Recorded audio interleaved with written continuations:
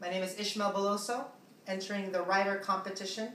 This is a song called A Song of Forgiveness to be performed by Mikala Banham, who happens to be my niece.